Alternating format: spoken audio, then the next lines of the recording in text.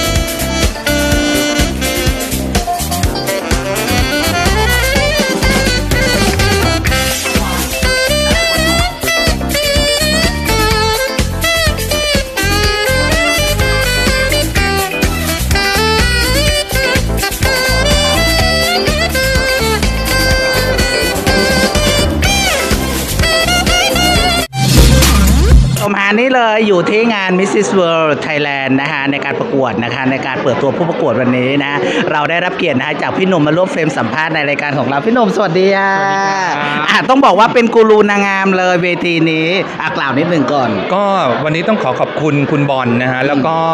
พี่ปูคือคุณคิตตี้ครับที่เชิญมาเป็นกรรมาหนึ่งในคณะกรรมการของงาน Mrs. Thailand World ครับ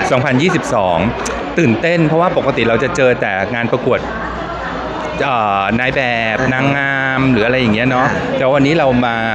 เอ่อในรูปแบบของสุภาพสตรีที่แต่งงานแล้วอืมอ่าก็มีไม่เยอะมากนักในประเทศไทยเนี่ยอะอ่าคนที่ชนะการประกวดอ่าเวทีนี้แล้วเนี่ยจะต้องไปต่างประเทศด้วยไปที่ไหนฮะปีนี้ยังไม่ทราบเลยฮะอืมเพราะแต่ละปีก็คงมีมีมีเจ้าภาพในแต่ละประเทศที่แตกต่างกันไปอะไรอย่างเงี้ยฮะบริบทของเวทีนี้ยังไงบ้างพี่หนุ่ม ความอบอุ่นของครอบครัวอืมคืออย่างนี้เราต้องลืมอย่างนี้ไปก่อนว่าการประกวดนางงาม หรือว่าการประกวดนางแบบอะไรใด ๆเนี่ยฮะ performance มาเป็นที่หนึ่งอืม full turn ความมั่นใจอะไรใด ๆ ก็แล้วแต่การตอบคำถามต้องเป๊ะต้องปังต้อง แต่ว่าในบริบทของ Mrs. หรือสุภาพสตรีที่แต่งงานแล้วเนี่ย ความอบอุ่นของครอบครัว ความประสบความสำเร็จในชีวิตในด้านใดด้านหนึ่ง การมีทัศนคติที่ดีต่อสังคมต่อต่อสถาบันครอบครัว อันนี้เป็นหลักเลยอืมดังนั้นเนี่ยความ soft ความละมุน ความอบอุ่นที่ที่ที่ระหว่างการประกวดเนี่ย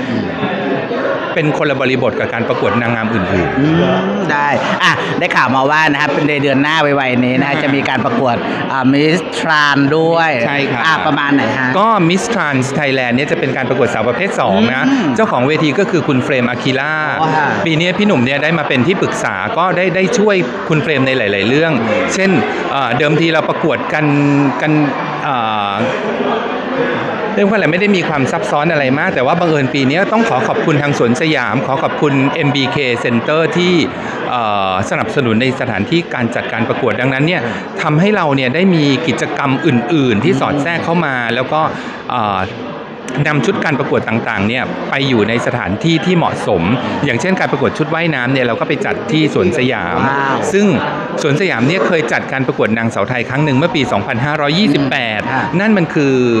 40 30 กว่าปีแล้วเนาะ30 กว่าปีแล้วเกือบ 40 ปีแล้วอะไรเงี้ยค่ะดังนั้นพี่ก็นำสถานที่เนี้ยในความทรงจำของการประกวดเนี่ยกลับมาอีกครั้งหนึ่งแบบเนี้ยฮะแล้วเราเนี่ยหลาย ๆ คนอาจจะลืมไปแล้วว่าเรามีสวนสยามอืมนะฮะก็เลยนำนำสวนสยามเนี่ยกลับมาให้เป็นที่รู้จักอีกครั้งหนึ่งโดยที่เราร่วมมือกันอืมแล้วก็ห้าง MBK Center ซึ่งสนับสนุนการประกวดในรอบตัดสินอะไรเงี้ยก็ เอ่อ MBK ก็คือปรับโฉมใหม่เรียบร้อยแล้ว ดังนั้นเนี่ยสถานที่เย็นฉ่ำแอร์เย็นฉ่ำสถานที่สวยงามสะดวกสบายเดินทางง่าย ก็เลยเลือกเอาสองสถานที่เนี้ยเป็นชัยภูมิที่สำคัญในการจัดการประกวดได้